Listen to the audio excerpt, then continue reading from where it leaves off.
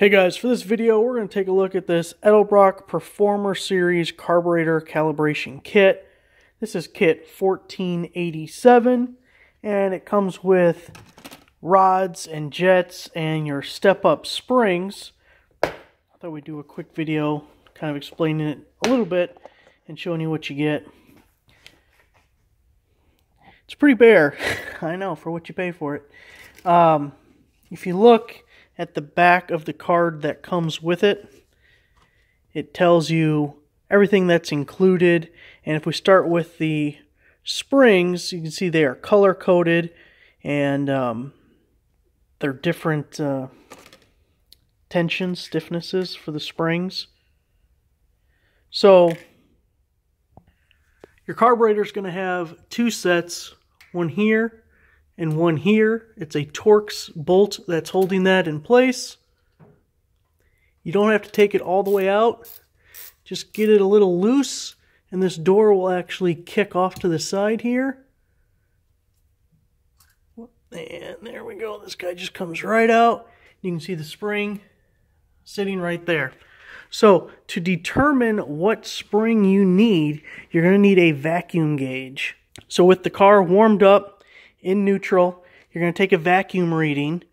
And let's say you have 16 pounds of vacuum, then you're going to cut that number in half. And that's the spring you're going to put in. So in this case, that would be silver.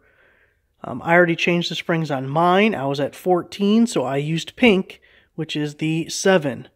So whatever your vacuum reading is at idle, just cut it in half. That's the spring. If you're between two numbers, then go to the lower number numerically. So if you were at uh, if you were at 12, then you're between orange and pink. Once you cut that in half, you would go up to orange.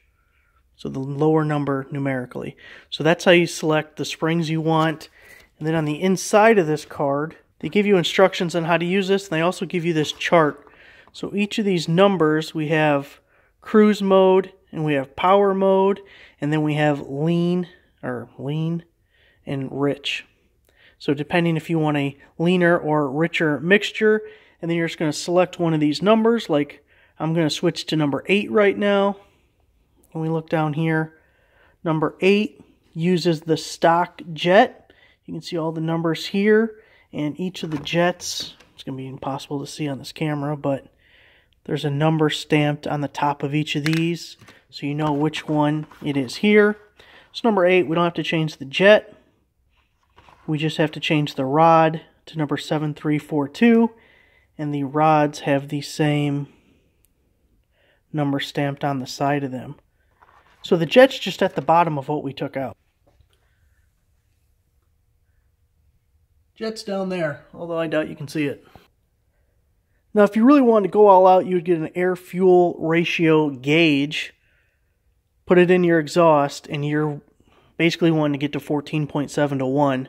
Um, I don't know how realistic it is for you to get to exactly that. But anyway, that's what you would do, but that's very expensive. So otherwise, you could just you know see how the car drives or check out your spark plugs and you can tell if they're white and ashy like they're too lean if you if they're wet and dark or sooty then you're too rich so for me, I was just changing the springs and I'm going to change the rods for now.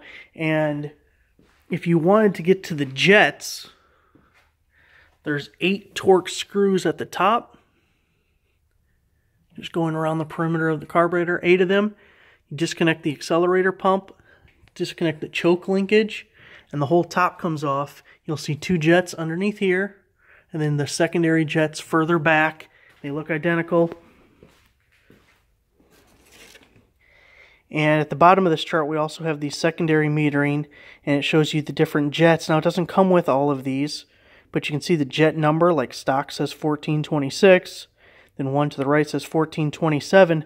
The thing that was a little bit confusing is the stamp ID, the last three digits is what is stamped on the jets themselves, but then the part number is over here. So you're looking at